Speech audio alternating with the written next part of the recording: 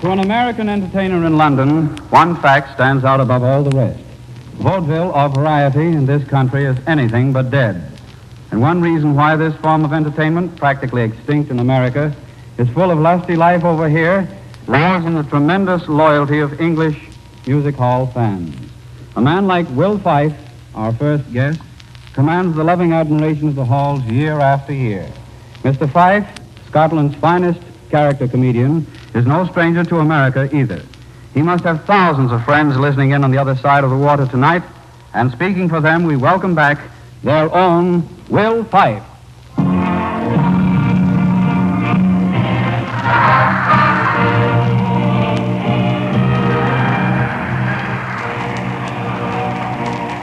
Will, I suppose you realize that we're taking you over to America tonight. Ah, that's right, Rudy.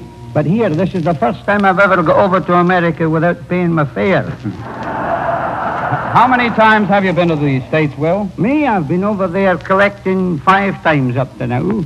But I'll hear, I'll never forget the first time that I landed in America. I landed on the Levi Nathan. Uh, No, one- you mean the Leviathan, Will, the Leviathan. Ah, the Leviathan, that's right. I'm sorry, Rudy. I always get mixed up with the names of the owners of the boat. Well, anyhow, Rudy, I landed at the dockside there with all my luggage, and I got hold of a yellow taxi driver, you see? And I said to this guy, What's that? uh, you see, I haven't forgotten your language yet. I said to this guy, I said, say, Bo, I said, what, what? I said, what will you charge me to drive me to the Ritz-Carlton Hotel? He said, oh, a dollar fifty. I said, well, what about all this luggage? Oh, he says, we always take the luggage in the United States for nothing. So I sent my luggage up with a taxi driver, and I walked up. Proving that Mr. Fyffe is indeed Scotch. He's going to do for us now London's favorite among his score or more character studies, The Centenarian, in which he impersonates a man of 100 years on his 100th birthday. Go to it, Will.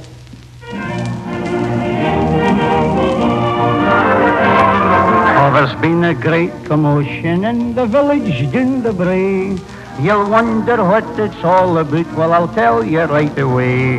This morning was my birthday, and I've lived a hundred years. That's why you hear the pipers and the shouting and the cheers. Ah, a hundred years ago today, a hundred years ago, and Scotland's in the same place still. Man, I've had lots of time to spare, so I wandered everywhere. Crossed the sea and toddled the land over many a weary hill, but there's no place like the old place. For hame's hame wherever you may go. The stories I could tell, for mind you, I've enjoyed myself, and I'd like to start it over again a hundred years ago. That's not so bad for an old yin, eh? A hundred years of age this morning at 26 minutes past four. I am that. I- I'm, I'm, I'm, I'm the oldest man standing up in a perpendicular position in Scotland at the present moment. I'm a centenarian. oh, and you should see the letters that I've had today from doctors and professors all over the world asking how I've managed to live so long. Mm, and I've got a letter from a patent medicine company that sells pills off- offering me 15 shillings a week for life. For life, mind you, just to say that I've been taking their pills every morning, but that's where they're wrong. See, because I'll tell you, the reason, the reason I've lived so long as I have done is this. I never smoked cigarettes or drank whiskey or went out with women until I was nearly 14 years of age. Secret? That's the secret. There's no mistake about it. Oh, but I've had a wonderful birthday today.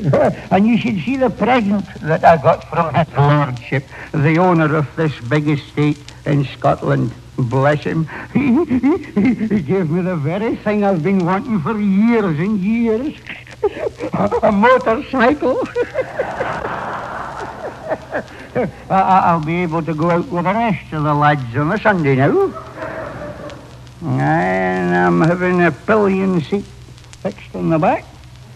Tell you, there's no time to waste now. No. No. And you should have heard the speeches, beautiful speeches, and I will say this, that our minister, uh, for a change, he spoke very well.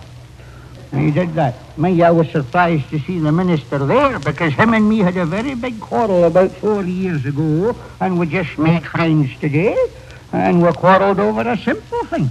It was one Sunday I met the minister and I asked him to do me a favour, he wouldn't do it. I said, Minister, when you're saying the prayer today, would you mind mentioning a few words about my floating kidney? You see, I've got a very bad floating kidney, and they're dangerous because you, you, never know where they might float to.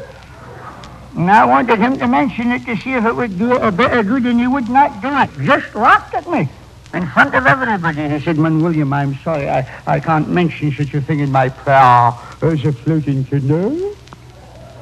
Well, I don't think that was fair of the minister because the very Sunday before that he spoke for three quarters of an hour about loose livers, and I don't see why he shouldn't a few words. right, my floating Oh, all right. Oh, but I was a happy birthday, but I think I'll have to toddle away home now. So goodness to you. I must go home now. You know, I'm not feeling so good lately. You know, and I can't go the pace like I used to do when I was 90. No, no.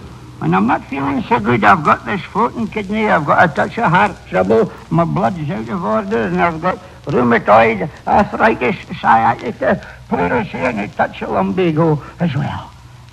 Oh, but that's nothing as long as I've got my health and strength. There's nothing to bother about. No, no. Well, good night to you. And thank you for being so kind to an old Scotchman on his last birthday. There's only one thing missing today, and that's my old lady. I wish she'd been alive to see me today. she'd have been a proud old lady, but she's gone. She's gone, and just a lassie when she died, just at her very best. 86 when she died. 86. Yeah, we all thought she'd pull around, but it was no good. No, no, but the baby lived. Oh, yes, the baby lived. Yes. Oh, ah, oh, I was glad of that. He'll, he'll be a great comfort in my old age when he grows up, the boy. well, good night to you, all, and I hope to see you in Scotland among the heather one of these days. Just come over and have a holiday. Good night, Rudy. good night, boys. Oh, the stories I could tell, for mind you, I've enjoyed myself, and I'd like to start it over again a hundred years ago.